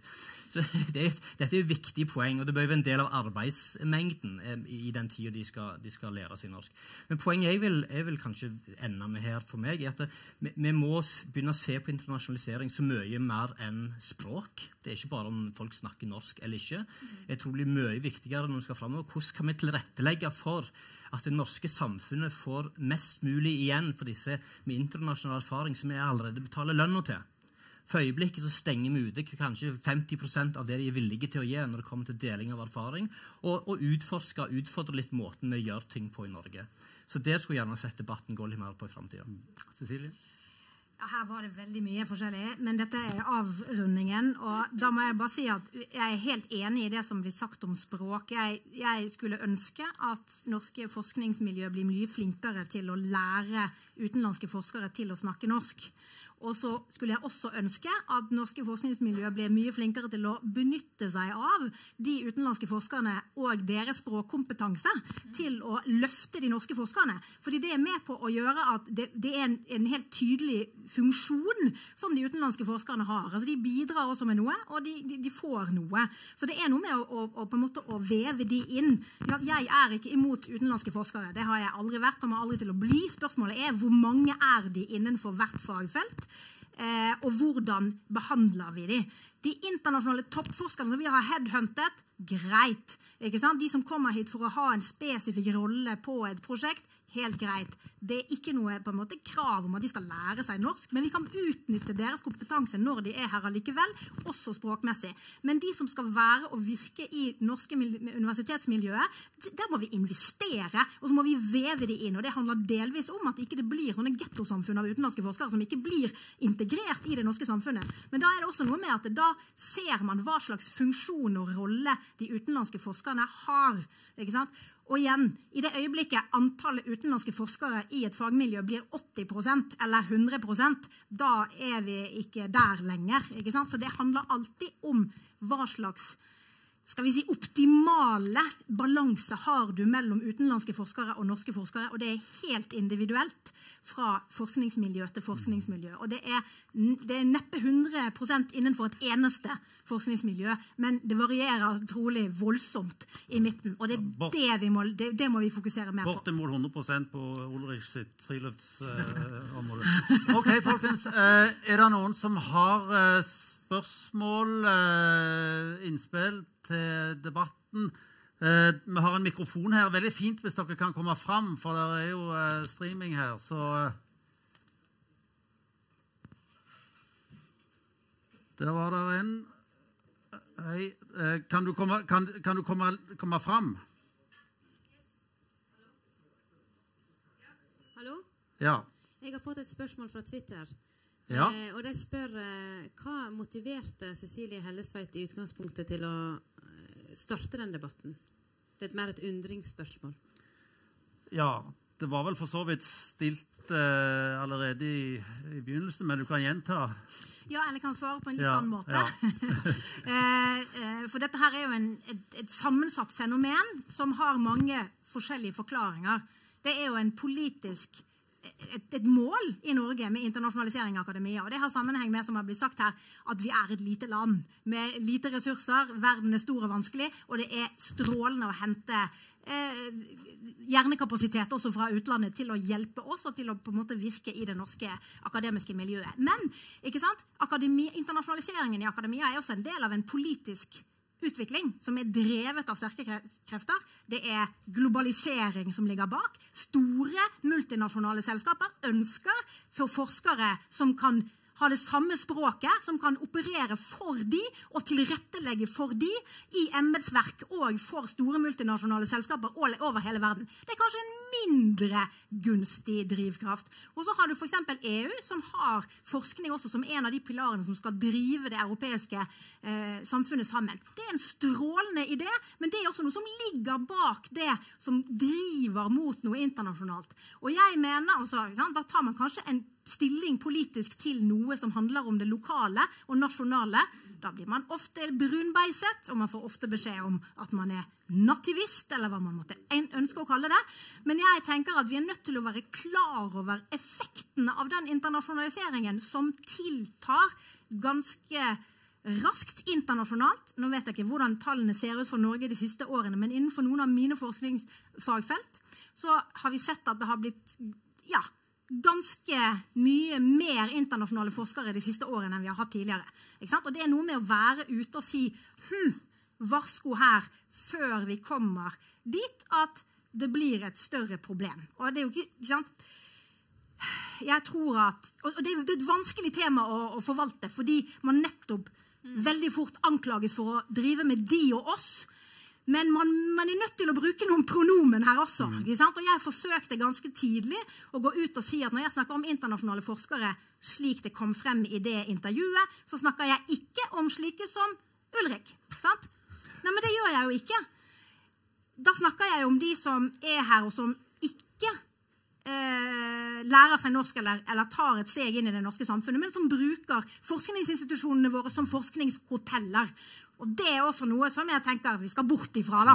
Eh, men det er jo en større strukturell eh, Ok, Vi skal, skal la Rune og Ingvild få, eh, få, få kommentere. Altså, smører dere egentlig hjula for store multinasjonale konsern med en sånn internasjonaliseringsideologi? Ja, det, det, det er vel en synsing. Sant? Det er ikke noe bevis for det at, vi jobber for, som akademikere for de store globale samfunnene. En- det, det som er viktig for meg, er at jeg skulle gjerne at vi tenker litt mer på de individene vi snakker om. Så igjen, jeg tror ikke det hjelper at du sier vi snakker ikke om sånne som deg. En av grunnene til at jeg flytta tilbake til Norge, var pga. brexit. Jeg satt på dobbeltdekkerbuss dagen etter avstemning, og jeg følte her over halvparten av de som sitter på den dobbeltdekkerbussen, ville ikke ha utlendinger i dette landet. Det var på en måte det det var avstemning om. Og når jeg hadde den samtalen med mine venner og kollegaer, så var det typisk svar ja, men Rune, vi mener jo ikke sånne som deg. Det gjorde ikke at jeg følte meg bedre eller mer velkommen. Så jeg tror at vi har, det, det, er på en måte vår feil som norsk samfunn. Vi har invitert inn internasjonale kolleger. Da har vi et ansvar for, for det første å få mest mulig ut av dem, deres erfaring og kunnskap. Og så skal vi ta vare på dem som mennesker. Og det føler jeg at vi fullstendig har glemt i denne, i denne debatten. Og Derfor jeg har liksom dratt litt i klaus og oppfordret kanskje du sier noe, stopp og, og snakk for våre internasjonale kollegaer. For det vil bety mye. Det sitter folk rundt forbi og, og kjenner på det, at, at de er skada. Ikke noen som er dem med vilje, men de føler ikke at noen har snakket opp for dem. Og der har vi et ansvar. Vi har invitert dem, vi har gitt dem jobb. Da må vi pigre ta vare på dem. Ja, jeg vil kort kommentere. Det helt riktig at uh, det har vært en økt internasjonalisering av forskning i hele verden de siste åra, og at det også er drevet frem av OECD. og Det er en villa politikk. Uh, og at man ønsker mer internasjonalisering. Samtidig er jo forskninga i sin natur internasjonal. Mm. Den har alltid vært internasjonal. Eh, vi bygger på forskningsresultater eh, fra hverandre. Eh, universitetsmodeller har blitt kopiert fra land til land, og vi utveksler. Så vi er helt avhengig av den internasjonale delinga. Og det handler jo ikke bare om å internasjonalisere hjemme. Handler jo også om at vi som forskere i Norge skal jo ikke bare dra til utlandet og dra på konferanser. Det er enn så viktig at vi, vi, integreres med internasjonale forskere i Norge. Og jeg tenker jo hvor heldig jeg er, da, som kan sitte i Norge og ikke trenge å fly, ta med meg familien til utlandet, men få et internasjonalt nettverk fordi at andre har flytta familien sin til Norge. At andre har eh, tatt med kone og barn og lært seg et nytt språk. Eh, og det er en utrolig styrke. da. Eh, det, men jeg er helt enig i at vi må diskutere, det skaper en del andre typer utfordringer som vi må tørre å diskutere. Men det skaper også en utfordring som du er med på. Hvordan møter vi de internasjonale forskerne som faktisk har orka å flytte et lite, kaldt land ja, som heter Norge? Og det skal, vi, det, det skal vi, spørre Klaus om. For eh, nå, nå, har du, nå, har du, fått eh, en del utfordringer. Både språkkurs til helt ukristelige tider. Eh, at du ikke står nok opp for uh, de utenlandske forskerne å på en måte vise fram det bidraget som de uh, gir. Hva tenker du om dette nå? Uh, hva kan du gjøre framover? Den siste påstanden syns jeg er ganske absurd, med all respekt. altså. Rune er blant de som gikk hardest ut mot Cecilie i utgangspunktet, og som ga støtte til Kurt Rice når han sa at Cecilie trengte vern mot seg sjøl og har siden hengt på meg som en klegg for det at jeg feiler i å vise empati for våre internasjonale kolleger. Han sier han har lagt dette bak seg, men det har faktisk tiltatt de siste dagene. Og til og med etter det møtet der jeg ga en nyansert innlegg om internasjonalisering på mandag for en rekke kolleger. Heldigvis så er det ikke så mange av den type innvendinger mot det synet jeg representerer. Og jeg tror òg Rune, hvis han tenker seg om, at jeg, så vet han at jeg har et mer nyansert syn på dette enn som så. Jeg har jo sagt det om igjen og om igjen at jeg omfavner internasjonalisering. At det har løfta vårt universitet. Og jeg, at, at jeg ønsker internasjonalt ansatte er velkomne. Så har jeg òg erkjent at vi har vekstvansker. Vi har vekstsmerter fordi dette har gått så fort de siste årene. Og det har vi ikke rukket å tatt ordentlig eh, innover oss. Jeg har òg sagt at det skal vi gjøre noe med. Når vi nå skal se på våre HR-strategier i tida som kommer, så må vi ta høyde for denne type utviklingstrekk og se til at òg disse sidene ved vår organisasjon og utviklingen av vår organisasjon blir eh, ivaretatt. Men eh, utover det at, eh, og jeg, jeg, jeg ønsker ikke å delta i en debatt der vi skal der jeg føler vi havner litt i grøfta. For dette handler om store spørsmål. og Det er interesser som må veies mot hverandre. Og så skal vi havne i grøfta der dette handler om å vise empati eller ikke til de internasjonalt ansatte. Det tenker jeg om det ikke er fullt ut et blindspor. Jeg har også sagt at jeg, jeg, jeg, jeg tenker at dette kanskje ikke kjennes bra, altså.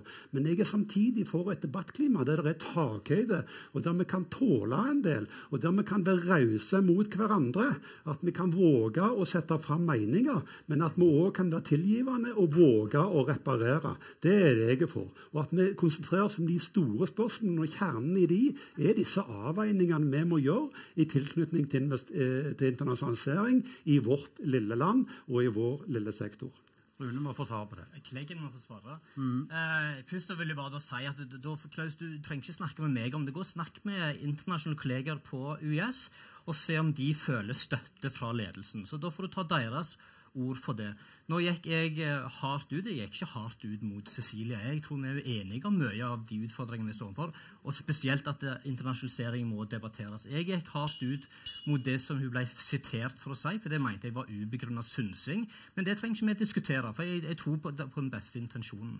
Så, så selvfølgelig, dette, dette går på å se framover, men denne debatten ender jo ikke i kveld. Igjen, Jeg sier ikke at du er usympatisk. Jeg bare prøver å si det er internasjonale kollegaer som sitter der ute og venter på en klar melding fra deres ledelse. Og De føler da altså ikke at de har fått en klar støtteerklæring fra sin ledelse. Det er ikke personlig. Du er vår rektor, du er vår leder. Det er det budskapet jeg bringer videre. Uh, Ulrich, uh, opplever du at uh, de utenlandske forskerne på UiS får for lite støtte? Kan bare snakke for meg. Og nå kan jeg litt norsk. Og um, jeg har opplevd at språk av mine norske kolleger ble brukt som maktmiddel. Ja, når det dreide seg om ressursfordeling, arbeidsplaner, alt det, hadde vi møte selvfølgelig på norsk, fordi jeg var den eneste ikke-norsktalende. Jeg, talte. Men når det, når det gjaldt noe, noen ting, så blir det fort veldig vanskelig å forstå, fordi da ble det fortere og dialekt. Og så ingen pause. Jeg kunne ikke snakke. Jeg har, sånn, jeg fått veldig lite andel i den, i den ressursfordelingen. Og, og, jeg har fått de emnene som ingen andre vil. Selvfølgelig. Um, sånn språk som maktmiddel. Um, også um, språk for middel som annengjøring. Sånn referat som skrives på nynorsk i en arbeidsgruppe av fem personer, hvor bare én er norsktalende. De andre er utenlandske medarbeidere, men referatet må skrives på nynorsk. Herregud, sa jeg da. Hva er det for noe? Ja, det er jo nynorsk fatisjisme, da. Sånn. Ja. Og så um, er det også manglende språkkompetanse når det gjelder engelsk på våre norske kolleger. Uh, husk at alle de, ikke alle de som kommer fra utlandet, kommer fra England og Storbritannia og fra, fra, USA. De kommer fra Iran, Pakistan, Tyskland. Engelsk er også et fremmedspråk for de. Og sånn, De sliter ganske mye eh, i sin hverdag. De kan ikke bare bruke og falle tilbake sin, til sin morsmål. Ja, ich könnte jetzt auch viel Deutsch reden und dann hätten wir viel Spaß hier Abend. Ja, sånn, Det føles helt rart ut når du kan aldri uttrykke det i ditt eget språk. Og de som kommer fra utlandet, de sliter ganske mye. Sånn, Mine barn det var det første halvåret på norsk skole hver dag tårer før de måtte til skole. Hver eneste dag. Det var ingen støtte fra skolen. De ble bare kasta ut. Ja, de er flinke, de fikk støtte fra oss. Ja, men måtte ha tatt norskkurs klokken fem. Ja, Tusen takk. Da ville vært alt min kone. Men, men, men, hva, hva, hva, men hva, vil du at, at f.eks. Klaus uh, skal gjøre? Det er ikke bare Klaus, det er ikke bare ledelsen. Nei, nei men, men, men, i dette tilfellet, da, altså hvis en skal komme videre, og sånn at det blir lettere, hva er de viktigste tiltakene som, uh, som da burde gjøres? Når man krever noe, må man gi støtte. Og den støtten den er ikke bare språkkurs. Um, det er også noe som må endre seg i miljøet. Sånn, bare tenk på hvem mottar du? Har vi en velkommenskultur her? Er det sant?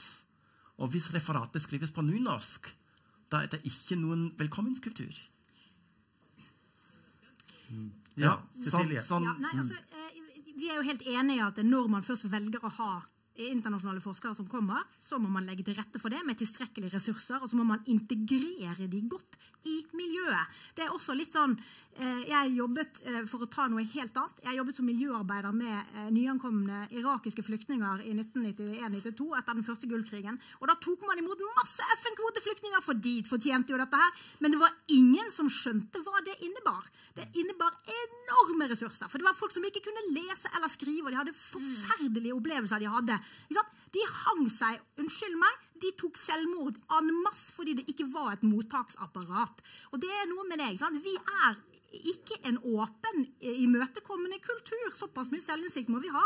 Og når vi da vil ha en masse forskere inn som er internasjonale, så må vi ta vare på dem og integrere dem på en skikkelig måte. Altså Det må være en viss anstendighet som følger opp den internasjonaliseringen som vi vil ha fordi vi vil komme høyt. La oss være ærlige på fine rankinger. sant? Det koster, for det første. Og for det andre så er det slik, og dette her er det andre poenget mitt som ikke har kommet frem så mye i denne debatten. En av grunnene til at jeg er opptatt av at vi skal snakke om internasjonalisering, det er det at vi er på vei inn i en ny æra hvor statlige myndigheter i stadig større grad kommer til å drive direkte kontroll med forskningen vi bedriver. Særlig på mine fagfelt, som er nett, ja, tett knyttet til teknologi, sikkerhetsproblemstillinger, eh, områdestudier osv. Eh, den nye eksportlovgivningen i Storbritannia, som trådte i kraft i januar, i USA, det som man driver og forbereder i, eh, i Norge også på eksportlovgivning, gir utøvende myndighet rett til å gå inn og bestemme hva skal fokus være, hvem skal du samarbeide med, hva slags nasjonaliteter skal få være med på dette. her. Og Hvis ikke du har tilstrekkelig solide eh, forskningsmiljøer som kan stå imot det presset fra utøvende myndigheter, det kan være Oslo, det kan være Brussel eller det kan være Washington, what have you. Da må vi ha soliditet, altså resilience, i forskningsmiljøene som gjør at man klarer å opprettholde uavhengig forskning innenfor samfunnsvitenskapene. Det er også en del av internasjonaliseringen, fordi den må foregå på en måte som er skal vi si, optimal innenfor det enkelte fagfelt. Og igjen, altså, jeg gjentar, det er veldig store forskjeller mellom ulike fagdisipliner, men vi er nødt til å vite hva vi gjør når vi gjør dette. Der er det ei som eh, vil si noe. Ja, OK. Så, så eh, Bjørn Asheim, professor emeritus uh, uh, Handelshøyskolen eh, Universitetet i Stavanger, med en lang fortid i, i Sverige, bl.a. Lund universitet. Jeg syns diskusjonen har vært veldig skuffende. Den eneste som har bidratt konstruktivt til Ingvild, var. sant? All ære for henne, var, sant? Med, med faktabasert informasjon jeg tror det er viktig å tenke på liksom, at hva er norsk? Hva, sant? Alt, alt, nesten alt er verdi, bortsett fra hardingfela i norsk, europeisk. Sant? Det skal man tenke på. Sant? Man snakker menneskerettigheter, respekt for kvinner og alt det der. Det kommer, det kommer fra Europa. Sant? Det kommer fra gresk kultur. Sant? Det er veldig gamle europeiske tradisjoner. Det, det, er ikke noe interessant med norsk, bortsett fra hardingfela, som det er en viss interesse for. Alle man skal tenke på, det er forskjellen mellom integrasjon og assimilasjon. Va, sant? Integrasjon er verdifullt. sant? Fordi hvis, hvis, hvis folk er integrert, va, sant, så bidrar de. Assimilert, da slutter bidraget. For da er de som norske var. Nothing interesting anymore. Sant? Et godt eksempel er hvordan jødiske kulturer alltid, alltid har bidratt ekstremt positivt. Nobelprisvinnere, business og whatever. Det er fordi de er integrert i samfunnet. De er aldri assimilert. Og, og så, har, så, har, vi det problemet med poenget med, med hvilke utfordringer vi står, står utenfor. Cecilie snakket om, om, om, teknologiske utfordringer. De er da ikke norske. Var, sant? Nei, nei, Industri 4.0 er globale. Var, sant? Ja. Norge er 5,5 millioner eller 5,3 millioner. Sant? Altså Talentpool er begrenset. Skal vi klare å håndtere det, så skal vi ha den beste kunnskap. Og, og vi, kan, vi, kan, vi, kan, gjennom internasjonale kontakter få tak i den beste kunnskapen. Det er enda bedre hvis vi klarer å rekruttere gode internasjonale forskere til Norge. Okay, og så, så skal, skal man tenke på at Norge er et perifert land. Et lite land. Klimaet er ikke særlig wonderful. Når folk kommer der med sin familie, så er det ikke fra et gjestehotell.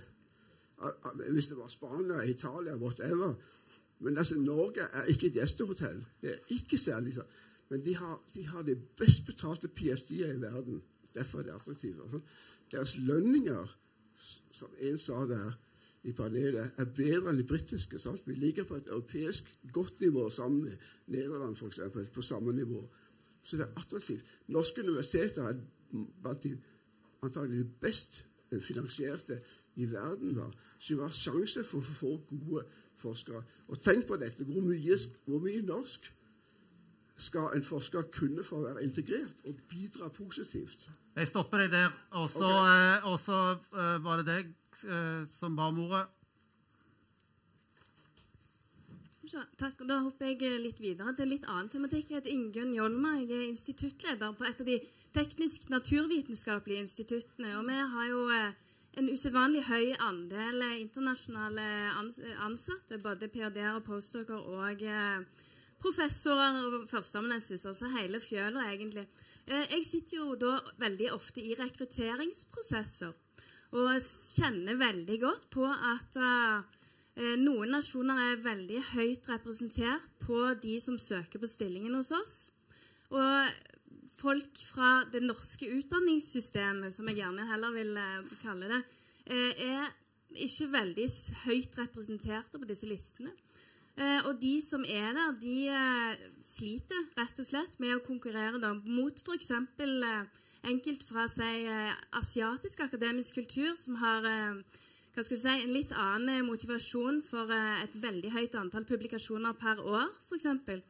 Eh, CV-en ser veldig annerledes ut hvis du stort sett har vært eh, i Norge, skandinaviske land. Du har gjerne få publikasjoner per år, færre utenlandsopphold å vise til.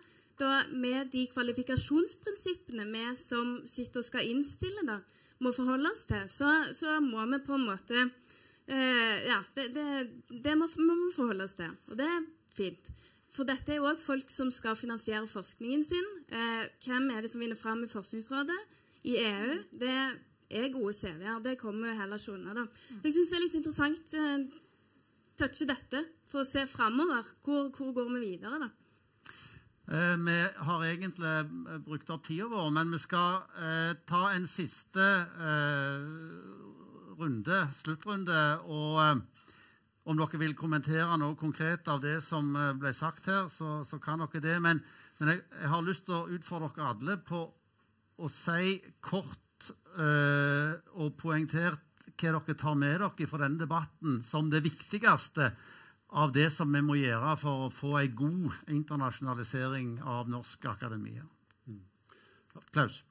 Ja, tusen takk. Eh, jeg syns dette har vært bedre enn det Bjørn uh, syns, eh, bare så det sagt. Og jeg, denne uka har for meg involvert et internmøte på, på mandag der det var et stort publikum som hørte på et panel av internasjonalt ansatte samt meg. Da. Og det, alt dette gir meg innsikt og erkjennelse, og jeg tar inn over meg at uh, internasjonalisering i form av internasjonal rekruttering. For internasjonalisering omfatter jo veldig veldig mye mer. Men den internasjonale rekrutteringen har skutt fart de siste årene, og det har vi ikke tatt fullt høyde for. Så det viktigste jeg tar med meg fra denne prosessen, inklusiv denne debatten, det er at vi må se på måten vi håndterer våre folk på. For å si det på norsk HR-strategi, for å bruke eh, et engelsk uttrykk. Og den må nok eh, justeres og revideres i lys av de eh, mulighetene og utfordringene som som internasjonaliseringen reiser. Og For å ta tak i akkurat det som ingen påpeker her, når vi har disse kriteriene og prinsippene for rekruttering, så er det ikke så mye vi kan gjøre hvis 90% av søkerne er internasjonale og de tanker ut i norsk. Altså, så blir resultatet det det blir. Så må vi vurdere om det er noe vi skal gjøre med det, eller om vi skal gjøre noe med kriteriene. eller hva som helst, men det potensielt så, så, så, skal vi få det beste ut av internasjonaliseringen, og så skal vi ivareta de andre hensynene rundt, eh, og interessene rundt vår, vår virksomhet. Og dette er en krevende balanseøvelse. Ja, eh, Mitt viktigste poeng er at eh, internasjonaliseringsdebatten er viktig. Og jeg ønsker at vi skal debattere den på det vi vet, eh, hvordan situasjonen er. Men samtidig så er det masse vi ikke vet, og det tror jeg er viktig i diskusjonen fremover. Eh, vi vet ikke hvordan eh, engelskspråklig undervisning påvirker frafall, f.eks. Eh, hvordan påvirker internasjonalisering likestillingsspørsmål. Jeg ønsker gjerne å vite mer om hvordan norske og da internasjonale forskere formidler. Altså Det er en hel smørbrødliste av ting vi gjerne ønsker å vite mer om. Men, men, samtidig vet vi noe, og så kan vi ta debatten derifra. Og så håper jeg myndigheter og Forskningsrådet ser at dette er en så viktig debatt at eh, man må rett og slett bevilge mer finansiering til mer forskning. Ulrich Tveitweiler. og det er, står selvfølgelig først i køa til ja. å søke på de. ja, jeg har jo en todelt oppgave på fakultetet, og som leder til ph.d.-programmet er jeg veldig opptatt av rekruttering. Og helst til utdanningsvitenskapen er det helt avgjørende at folk kan norsk. Du kan ikke jobbe i norsk skole uten å kunne norsk. Um, sånn, Da har vi et problem. Og det må vi jobbe med. Vi, har noen tiltak. Um, spør meg om fem år om, om det hjalp noe. Som forsker, um, som forsker på uteskole er jeg spent på om det norske samfunnet er faktisk forberedt på våre funn. Vil norske lærere lære noe nytt om uteskole, eller kan de det allerede fordi de er født norsk, og friluftsliv er bygd inn i norske gener? Ja, um, og pedagogikken med, med, den er ja, tatt opp med, ja, med morsmelk. Og vi har noen å utfordre. Vi har noe tilbud. Jeg er spent om det norske samfunnet vil høre det, faktisk. Spør meg om fem år. Ja, det blir spennende. Rune? Jeg, jeg vil da fokusere litt bare på, på lokalt, regionalt, nasjonalt. Så UiS jeg, jeg tror vi kan bruke som konkurransefordel og, og, og trekke mer på internasjonal erfaring som, som en konkurransefordel. Og så, da er det HR-strategi, selvfølgelig, men òg disse samtalene og passe på kanskje representasjon av internasjonal erfaring på forskjellige ledd. For jeg tror vi kan hente ut så vanvittig mye mer av det vi allerede har og vil få i framtida. Så lys framtid. Ja, Cecilie, du får siste ordet. Ja. Eh, jeg forsker jo ikke på akademia. Men jeg tillater meg allikevel å rope et varsku, fordi innenfor mine to fagområder så ser jeg en bekymringsfull, veldig til dels bekymringsfull utvikling på enkelte punkt, som til dels handler om internasjonalisering. Og jeg synes De to innleggene som kom her, de illustrerer et annet poeng. I Europa så er det relativt dårlige betingelser for stipendiater doktorstudenter og for postdokker. I det øyeblikket du blir professor, så får du veldig gode rammevilkår.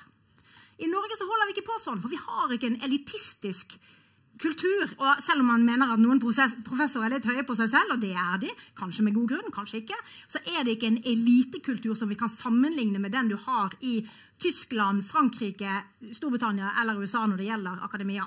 Og det er en del av den norske kvaliteten, fordi folk flest skal på en måte kunne snakke med kunnskapsgenereringsmiljøet. Dette er en del av norsk kultur. Og så kan vi si men den vil ikke vi ha. Vi vil ha elite. Kanskje det. Da skal vi importere. Kjør på.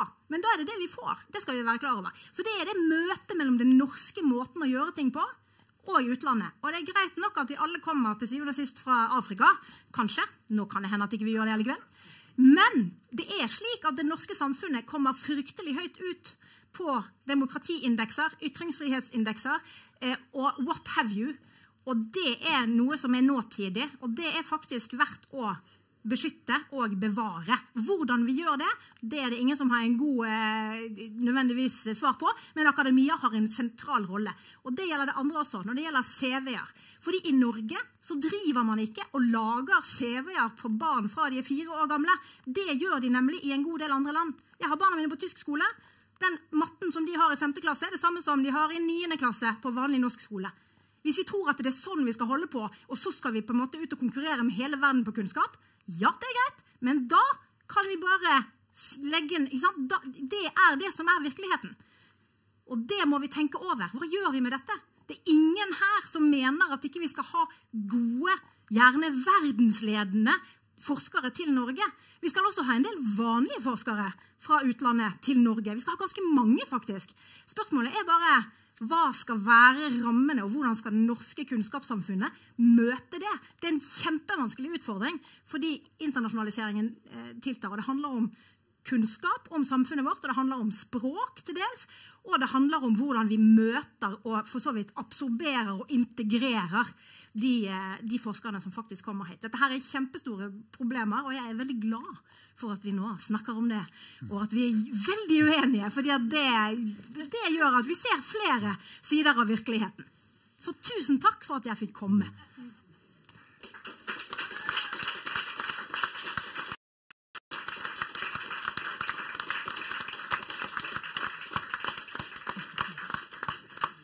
Ja, Det er fristende å konkludere som Linda Eide pleier i språkshow. Siste ord blir aldri sagt. Og det, det blir det definitivt ikke i denne debatten på en god stund. Heldigvis. Takk til dere som var med i panelet. Takk til dere som eh, kom og hørte på, og dere som fulgte oss på streaming. Vel hjem.